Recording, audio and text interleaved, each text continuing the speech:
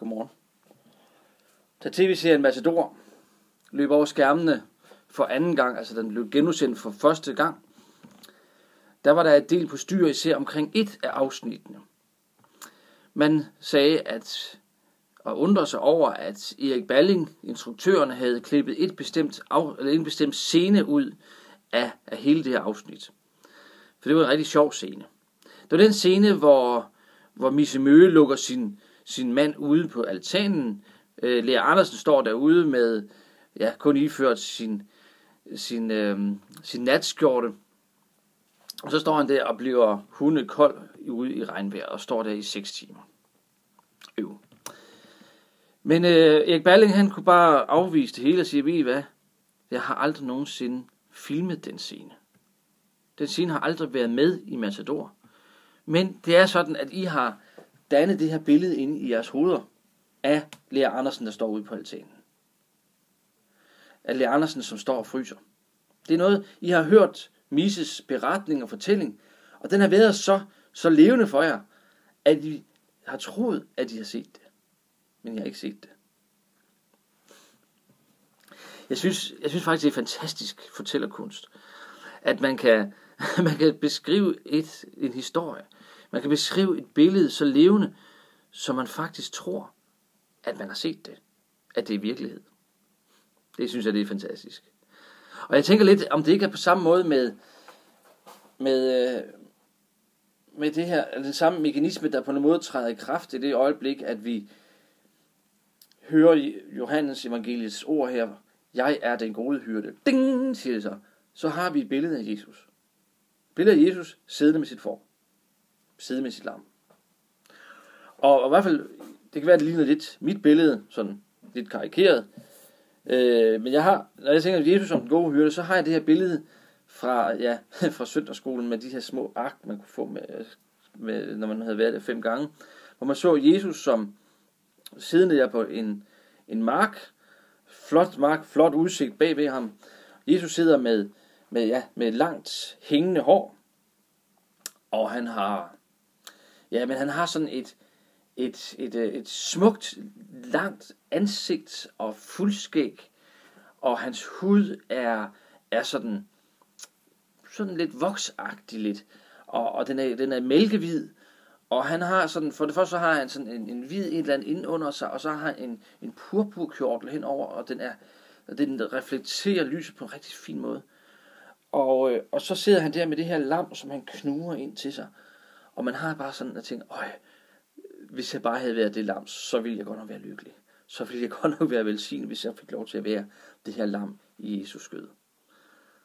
Jesus, som går rundt og, Ja, Jesus, det er da lidt sødt, ikke? Altså Jesus, der går rundt og klapper for. Det er sødt, det er dejligt, det er smukt. Jesus, han er den her... Ja, den er, Jesus er den medfølende, ømme, måske en smule feminine mand, som, som går rundt og, og viser omsorg for, for mennesker. Som øh, kaldte børnene til sig, der sad på skødet, og så fortæller Jesus historier for dem, og, og hygger med børnene. Sådan lidt, ja, sådan lidt ligesom en, ja, datidens svar på Jørgen Klevin. Han manglede bare lige en, et saks og lidt karton. Så var den hjemme. Jeg må desværre gå i ret med mig selv, når jeg har sådan et billede af Jesus. Det er ligesom Lea Andersen, der står øh, våd, drivvåd ude på, på altanen. Jamen, det er et billede, jeg har skabt, vi har skabt inde i vores hoveder. Det er ikke sket. Prøv en gang at læse evangeliet igen. Du vil ikke finde et eneste sted, hvor der står, at Jesus han, han klapper for, eller passer for. Han var ikke, han var ikke, han var ikke, øh, han var ikke hyrde, hvis han var noget, så var det jo tømmer. Du vil, kunne, du vil finde enkelte skriftsteder, sådan hister her, som sådan handler om, om Jesus som, som et, et medfølende menneske. Et menneske, som tager imod børnene. Det er, der er enkelte skriftsteder, hister her, det meste af tiden, der taler Jesus ikke om sin feminine side. Det meste af tiden, der taler Jesus rent faktisk om sin myndighed, sin magt, sin herlighed. At han er Israels konge. At han er Guds søn, at han er frelseren, at han er Messias. At han er den store jæve Gud selv. Der er noget over Jesu fremtræden, som, som, og det, som han sagde, som gjorde, at, at han virkede provokerende og stødende sikkert også. Og helt ærligt, det billede, altså, vil Jesus, vil Jesus være blevet korsfæstet, hvis det var sådan, at han talte lige så meget om, om kærlighed og om tilgivelse, som vi hører, som det fylder i, i, ja, i mine prædikner, i, i, i vores prædikner. Det fylder rigtig meget i vores prædikner. Ville, ville Jesus være blevet korsfæstet, hvis det var sådan, at han at prædike lige så meget om tilgivelse og, og kærlighed, som vi gør det? Jeg tror det altså ikke. Vil den Jesus, som vi næsten per definition eller per automatik har for vores indre nethinde, vil den Jesus blive korsfæstet og henrettet? Vil være nogen regering, som vil henrette Jørgen Klevin på et kors? Han er stået. Prøv, prøv, prøv, prøv at høre, hvad han siger. Han står og, og til bærende af, af hele den, den jødiske religion, toppen af religion og fromhed, der, der peger han over på dem og siger, hvis jeres retfærdighed ikke langt overgår deres retfærdighed, så vil I ikke komme ind i himlen. Underforstået. De her store fromme mennesker, de går fortabt. Til de rige, der pegede han og sagde, det er nemmere for et kamel at gå igennem et nåløje, end det er for jer at komme ind i himlen. Jesus havde presset de religiøse og værtslige myndigheder så meget, at de til sidst bare ønskede ham af vejen. Han var provokerende. Han underminerede hele vores samfund, hele vores religion. Det går der heller ikke. Jesus havde noget karisma over sig. Han kunne gå hen til, til folk, og så kunne han sige til dem, følg mig. Og så rejser de sig og følger Jesus. Efterlader sig ikke bare al deres ejendom, men også deres familie. Sådan så, så den familie, den far, som måske har regnet med, at, at deres søn, som nu lige pludselig begynder at rende efter en ny messias, at han lige pludselig står uden nogen arv, arvefølge. Hvem skal passe på ham, når, han, når den her mand bliver gammel? Der er en, en som, som faktisk værger sig og siger, Åh, må jeg ikke lige få lov til at begrave min far først? Der står ikke noget om, at den far han er gammel, eller han er død.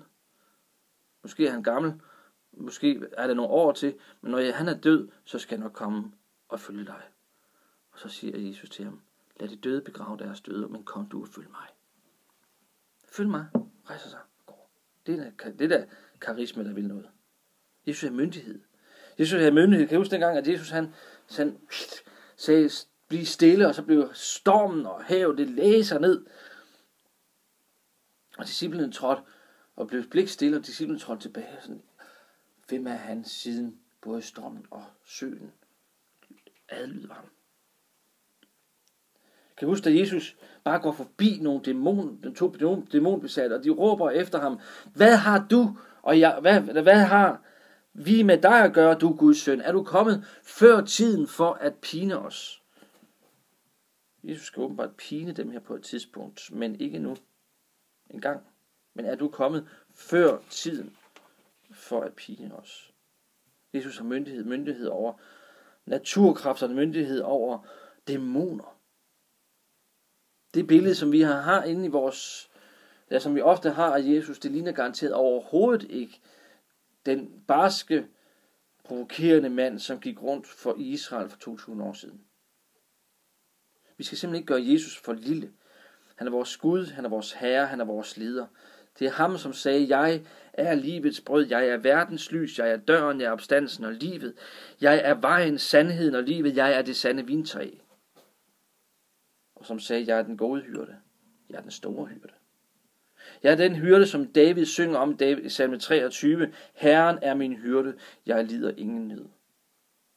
Jeg er den hyrde, som leder ikke bare Israels folk, men alle nationer. Ja, ham, der er Guds herligheds glans, hans væsens udtrykte billede, der bærer alt med sit mægtige ord. Tænk Jesus, din frelser, din Gud. Ja, det er ham, der bærer alt. Alt eksisterer Fordi det er, det er hans vilje. Fordi han vil det. Prøv at tage sådan en... Prøv en gang, ja, prøv en gang tage sådan dyb endnu helt, helt ned i lårene. Det føles bare så dejligt, ikke?